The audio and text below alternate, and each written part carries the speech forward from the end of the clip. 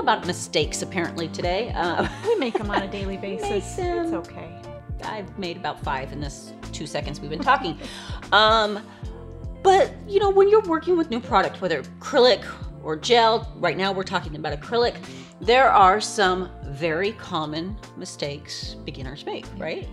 Beginners and sometimes advanced. If you've That's been true. making this mistake over and over and you still don't know why, hopefully we're going to be able to help you out with it. That's awesome. I like that because sometimes, even I've been doing nails for 20 some years. We won't talk about it. Um, there are things that I go, oh my gosh, I've been doing that my whole career. So Yep. excited. I hope you guys are too. Let's learn the mistakes we are making with acrylic.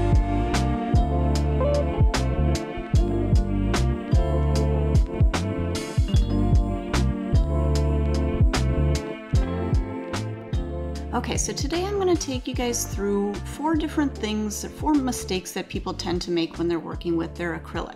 Okay, the biggest one that I think people tend to have an issue with is first of all picking up their product. Okay, I see a lot of people pick up product in a lot of different ways, and I see people drag their brush through, I see people swirl their brush through.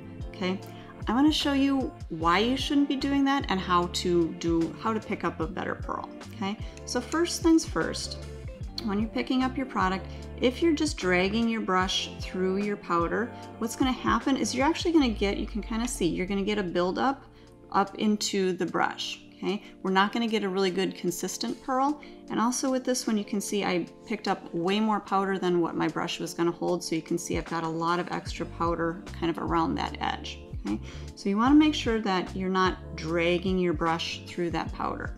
Okay. The other thing I see people do a little bit is they'll just take the tip of their brush and they'll start to swirl it through your product. Okay. Again, you're going to see you're not going to get a really good consistent pearl with that because you're going to have a lot of that extra powder on there. You also now have product on both sides of your brush. So when you go to put that down onto the nail, it's not going to adhere, first of all, because that extra powder, but because there's product on the other side of your brush, it's going to kind of stick to kind of both sides of your brush. So let me show you that one again, okay? So even if you do get um, a wetter pearl, when you press that down, part of that product is going to stick on top of your brush, and most of the time as you're working with it, that's going to start to kind of gum up your brush. So you want to make sure that you're only picking up product on one side of the brush, not, not on both. Okay? Now, I want you to take a nice close look at the brush. Okay? You can see that our brush does have, it's got a little crimp in, in the ferrule of it, and it also does have that darker area on the tip of the brush. That darker area is the part that you want to be using to pick up your product. You want to make sure that you're not getting product all the way up into kind of that lighter area. So again, if you come into your product and you lay your brush too flat down in there or you press too deep into the product, what's going to happen is you're not going to get that really nice pearl. You're going to get more of an oval shaped pearl. And again, you're going to get product up into that brush. Now again, as you start to use that product, let me show you with a little bit of a wetter pearl. Okay. What's going to happen is when you press that product down onto the nail, again, half of that product is going to stick in the brush. And then as you continue to use it, it's just going to start to gum up the brush. Okay, so what you're wanting to do instead of all of these other ways, first of all, give yourself a nice clean surface of your product. So tap down that powder so that there's no divots or little holes in there. You're going to come into your liquid. Okay, so what you want to do is you're going to tap out the extra liquid out of your brush. What I don't mean is to wipe the whole brush. Okay, if you wipe the whole side of that brush, you're wiping all of that liquid out of there, and then you don't have a whole lot of liquid to pick up a nice consistency to your pearl. Okay, so again, you're going to come in, you're going to press out the extra liquid. Now, I've pressed out the liquid from the back side of the brush. Now I want to use the front side of my brush to pick up my pearl because if we wipe out the liquid from the back side, all of our liquid is now in the front side. Okay, so what I want to do is I actually want to turn my brush over and then go into my powder. Okay, so if we were to take our brush, wipe out that extra liquid, and then use that back side, it's not going to pick up that consistent of a pearl because we've wiped all the liquid out. Okay, so again, I'm going to tap down my powder, I'm gonna press out my extra liquid. I'm gonna turn my brush over. I'm gonna use just that darker area and I'm gonna press, press, press, press, and then I'm gonna be able to pick up a nice consistent pearl every time. You can see that it's absorbed all of that liquid. It's a nice rounded shape. And when I go to put that on a nail, I'm gonna press down and it's gonna release nicely onto that nail.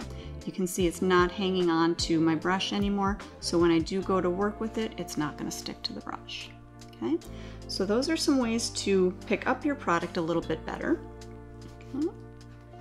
Just give myself a nice clean spot. That's actually another trick. Always make sure that you're working with a clean space on your towel um, so that you're not consistently wiping over the same because if you pick up product after product or if you're wiping your brush in the same spot over and over, again, it's never gonna pull that all of that product out. So make sure that you're always wiping on a clean space.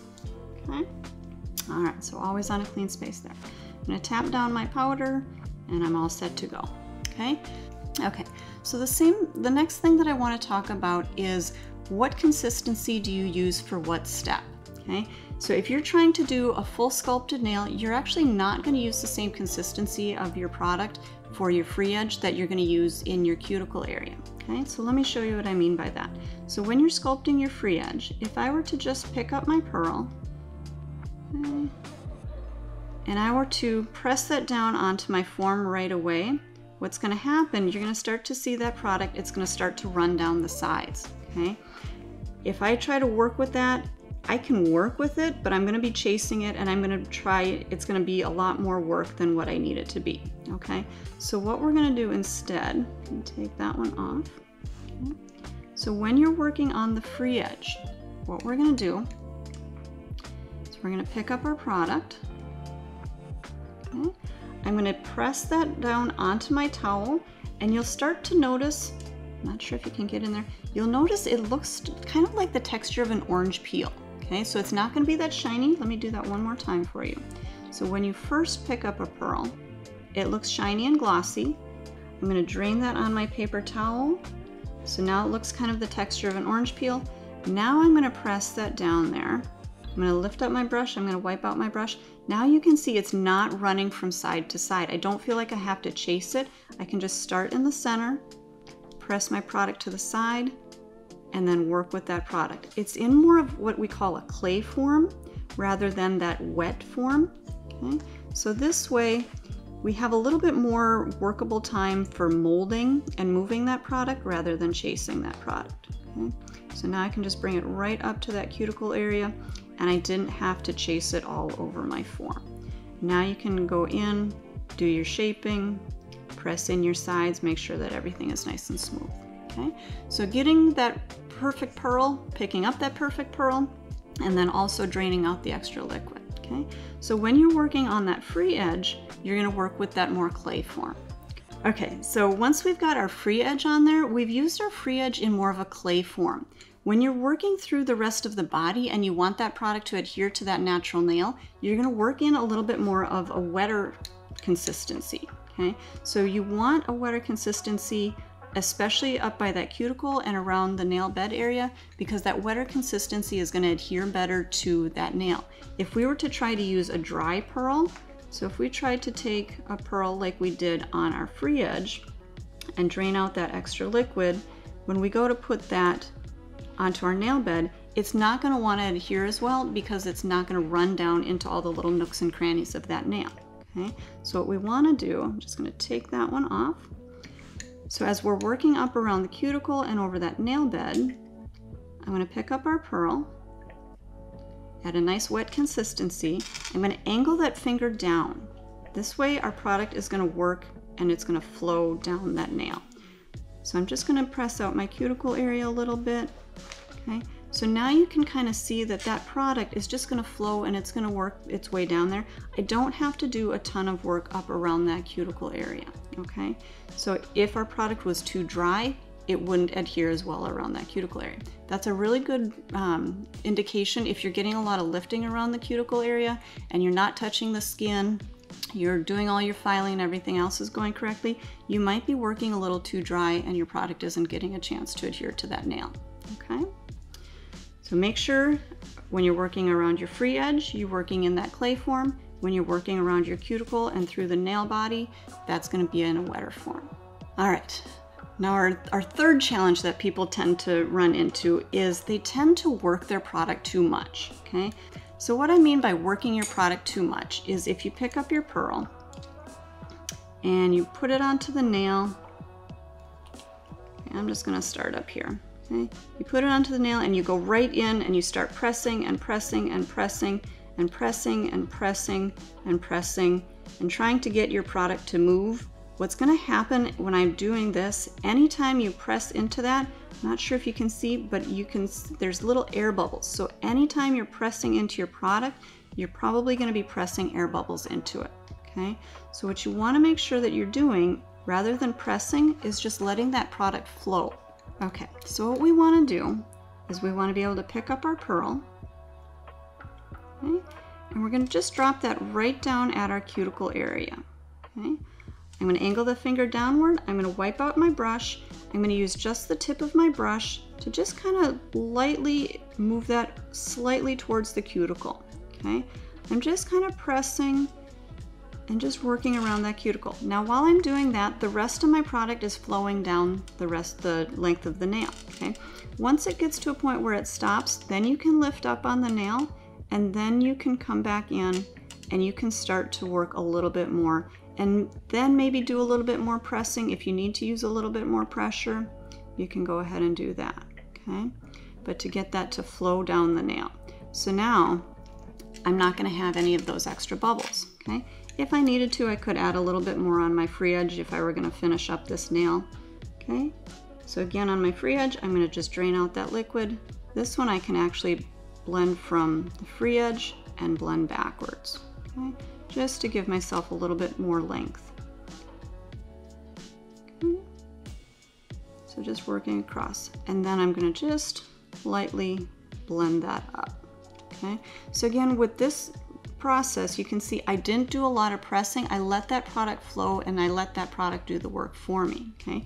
So now when that uh, when this pearl sets, I'm not gonna have any of those little air bubbles in there. So if you're somebody who is constantly thinking, why am I getting air bubbles in my product? I'm picking everything up right. It could be that you're just pressing too much and trying to work that product too much. So let the product do the work for you, let it flow on its own, okay? Another challenge that people have or another mistake that people make around the cuticle area is not using the tip of the brush to just lightly press, okay? A lot of times what I see people do is they'll pick up their product and they'll drop it onto the nail. They put too much pressure first of all, okay? And you see how it kind of forms like a little horseshoe? You're putting too much pressure there and you're putting your, the bulk of your product around the outsides. You want the bulk of your product to stay on the inside, okay? So let me do that one more time. So again, when you're pressing down, instead of pressing so much in the center of the nail like that, you just want to press enough to where it's going to release from your brush. So I'm going to just press that down and lift up. Okay, now you can see it's pretty kind of an even consistency throughout that pearl. I didn't press down in the center so I don't have that little horseshoe look around it. Okay, now the next thing that people tend to do is they try to push their product at the cuticle. So they kind of come in the middle of that product and push it at the cuticle, okay? So again, what's gonna happen is when that product sets, you're gonna get kind of that horseshoe, that ridge around the nail. We wanna make sure our product is nice and thin and tapered so that we don't have to do a lot of filing, okay? So let me show you one more time what you should do. Okay, so what you want to do is instead of pushing your product up at the cuticle, we're going to pick up our pearl, you're going to drop it down, and I work a little bit away from the cuticle and just touch my brush. Let me wipe out that a little bit. I'm going to basically touch my brush right in between my acrylic and my cuticle and just press out that cuticle area. Okay, I'm not pushing product at the cuticle, I'm just pressing down so that it's nice and thin and tapered all the way around my cuticle area. So now if you look at it from the side, you can see that it's nice and thin at that cuticle area, but then the bulk of my product is coming up into that stress area. And that's the exact shape that I want the nail. Okay, so make sure you're pressing around the cuticle rather than pushing up to the cuticle. Okay, so I think those are four different challenges that people tend to have with acrylic. Hopefully by showing you the right way to do these things, that'll help you with your consistency, it'll help you with your application, and it'll help you hopefully to keep from having nails that lift.